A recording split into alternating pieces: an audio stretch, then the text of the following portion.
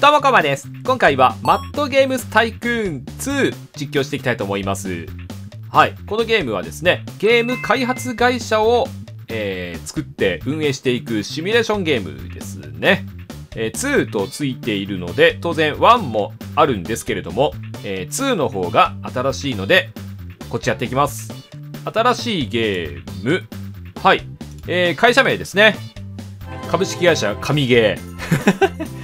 自らハードルを高くしていくスタイル。えこれはアイコンっていうか会社のロゴですね。おー、すごい。ちょっと待って。カップコムスがあるけども。パンダ。バンダイか。カタリ。これはギリギリアウトでは。どっかで見たことあるロゴしかないですね。これにしよう。ミンテンドゥ。ミンテン、ミンテンドゥでいきましょう。本社。本社はやっぱ日本じゃない？日本ってあるかな？あったあったあった。特化ジャンル。へえ、シンプルゲーム。まあやっぱりね、私が運営するからには、シミュレーションだろうな。あ、経営シミュレーション。開発シミュレーションは結構細かく分かれてるね、これね。戦略シミュレーションもあるし。建設ゲームか。ああ、建設ゲームにしましょうか。はい。難易度中級。開始年1976年。まあ、この辺りはそのままデフォルトでいいんじゃないかな。土地、工業団地、チュートリアル利用可能。競合他社の数80。すっげえ多いな。まあいいんじゃないですか？土地はちなみに工業団地以外は海岸リゾート、巨大ビル1棟。どうなんだろう。まあちょっと、とりあえずチュートリアルは見たいな。全く俺知らないから。はい、じゃあやっていきましょう。あー、なに ヒゲもじゃが出てきた。これ俺か。俺か。わかった。名前じゃあコーバーですね。ランダムで変えようか。はい。みんなメガネかけてんの？メガネはデフォルト装備なの？で、なんでみんなおっさんばっかなの？これいいな目がつぶらでいいですね。これにしましょう。能力値。スキルポイント残り50。あー、この50ポイントを割り当てていくんですね。職種、ゲームデザイナー、プログラマー、グラフィッカー。おへー。まあ、最初はゲームデザイナーじゃなんじゃないの？あ、職種はどの能力が100まで上げられるか示しています。他の能力値は全て50が限度。なるほど。ゲームデザイナーはゲームデザインをじゃあ100まで上げれるのか。あ、5刻みだな。もうゲームデザイン50。プログラム30。あとは平均。もうゲームの企画だけで一発当ててやろうっていうね。それでいきましょう。特性だって。選べる特性残り4。今選んでるのは？CEO。プレイヤーキャラクターはやる気を失わない。ああ、やる気っていうパラメーターがあるんだ。これいいな。鉄の心。就業時間中はトイレに行かない。病気になる。心だけで補おうとするな。気に入った。よし、これにしよう。これもいいな。想像力豊か。想像力豊かな社員は続編に関して常に新しいアイデアを持っている。続編の開発時により高いゲームプレイポイントを生成。えー、いいんじゃない？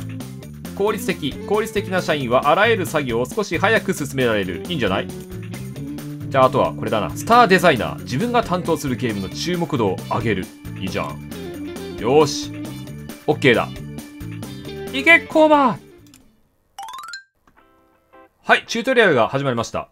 ガレージにスタジオを建てます。あなたの古いスポーツカーを売却しましょう。いきなり寂しいところから始まるな。え？どれ？古いスポーツカー売却。これ？これ？これじゃないのか僕の古いスポーツカーってどれです？あ、これか？あ、ここにいたいたいたいた。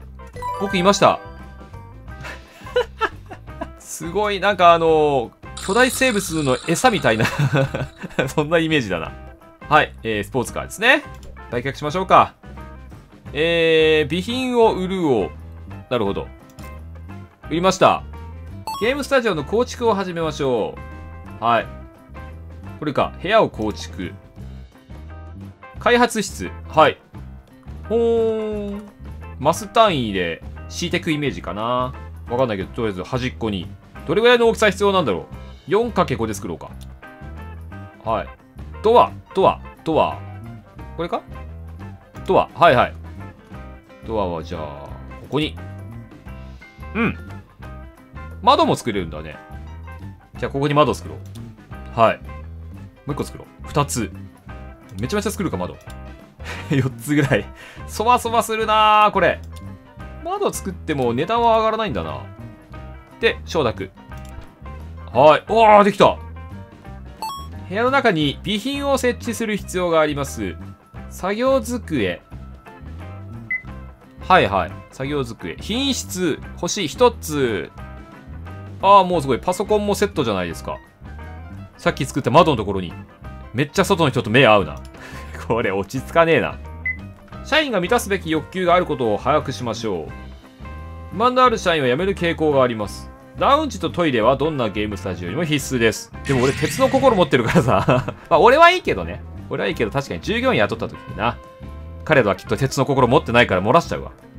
ラウンジ、休憩室か。ラウンジはじゃあ、ここに 作りましょうか 開発室のすぐ隣に。めっちゃ見られるな。窓ガラ空きだからね。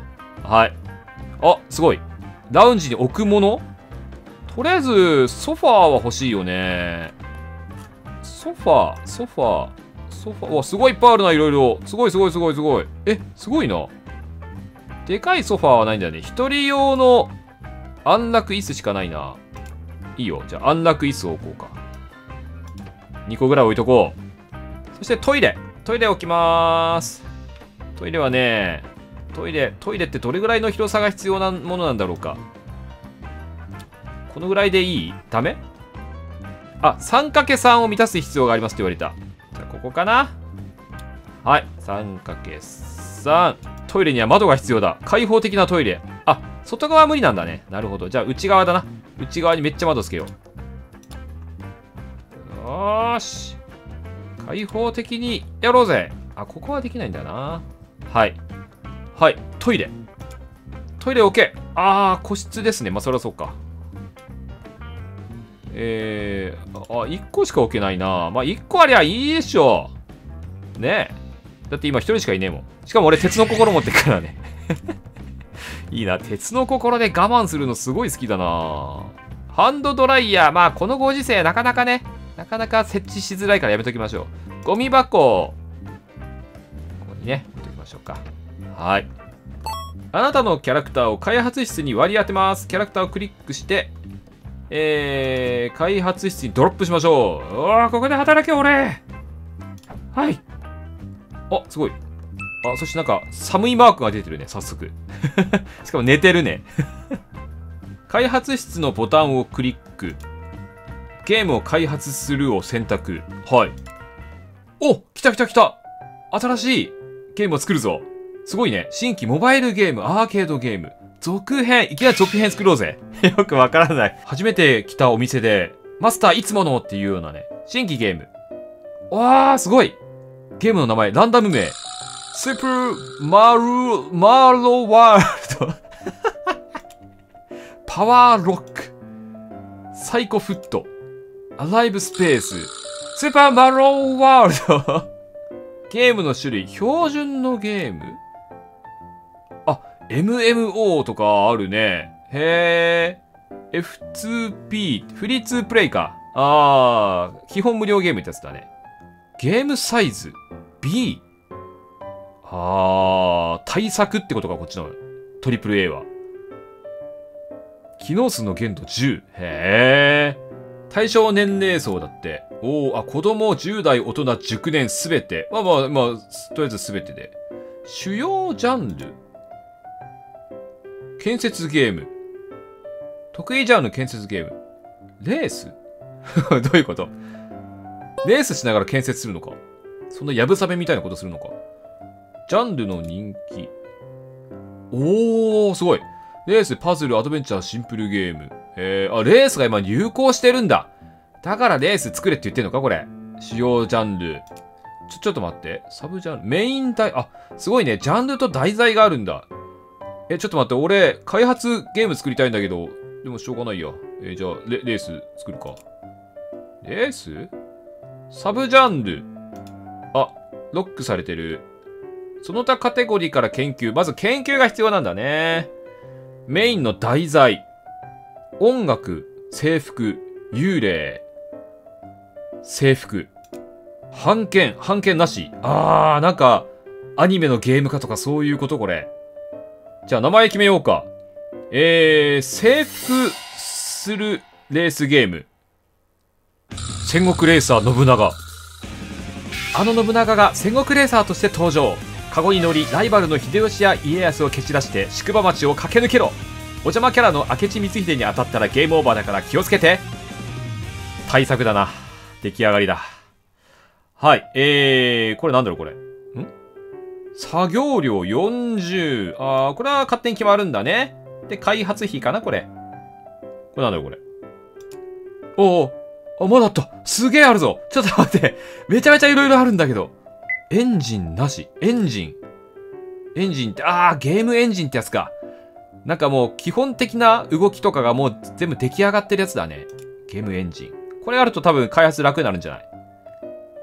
でも買わなきゃいけないんだね。エンジンの購入。リストは空っぽ。残念。プラットフォーム。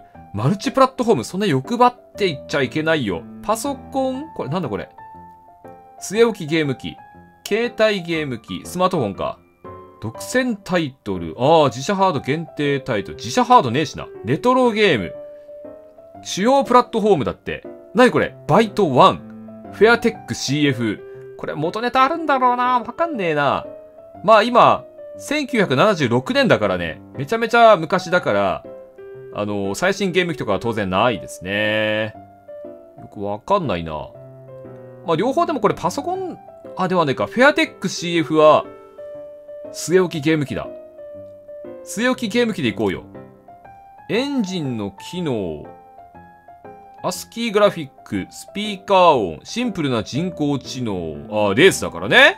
うん。秀吉とか家康の AI が必要だからね。言語。言語？すべての言語有効。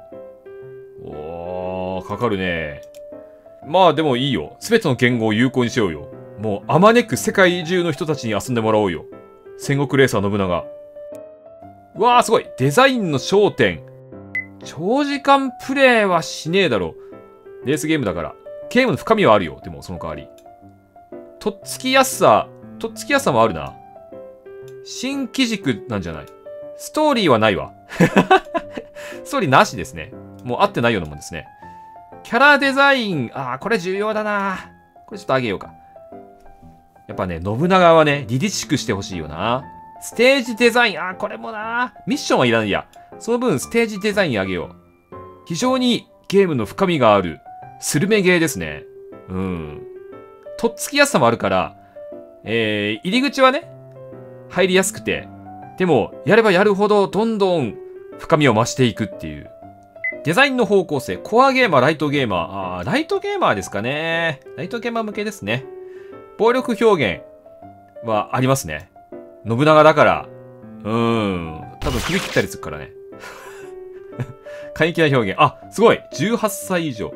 16歳以上にしようか。えー、難易度。まあ、これは、ちょっと簡単めにしようかな。うん。ライトゲーマーターゲットだからね。デザインの優先順位。へえ、すごい。まあ、サウンドとかは別にいいよ。サウンドはなんか、あの、あれだ、暴れん坊将軍とかかけときゃいいよ。ゲームプレイだな。ゲームプレイ優先にしましょうよ。ゲームプレイ機能。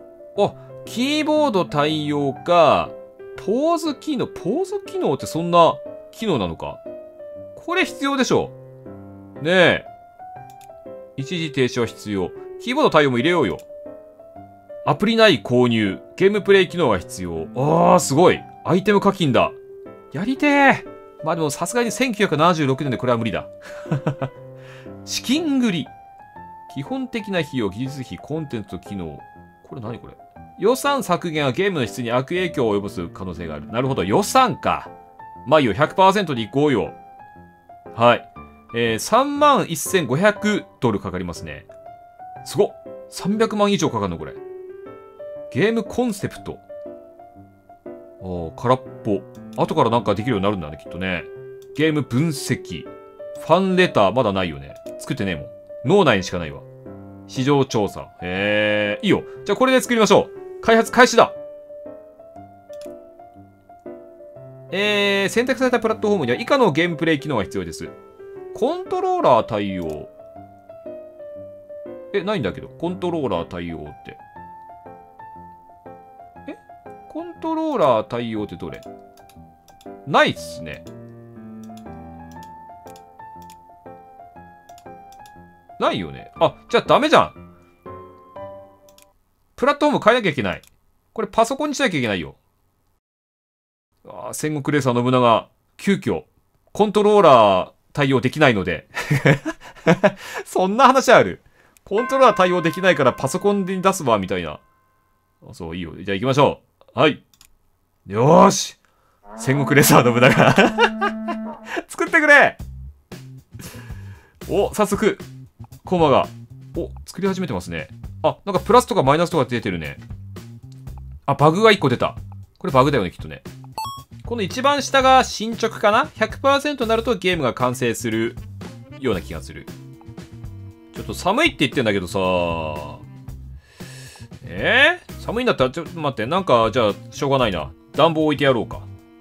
あったあったあった。暖房。電気暖房はまだ早い。暖房。これ何が違うの？電気暖房と暖房って。形的には両方とも電気暖房。これオイルヒーターかな？まあいいや。じゃあ、ここら辺に置いてあげようかな。しょうがないなはい、オッケー。この顔つらいな 髪型もつらいな反り深すぎないか。お、新たな研究が可能に。ローカルハイスコア。おー、はいはい。新しいプラットフォーム、アーケードシステム500。えー、ゲーム機。基盤だけどな。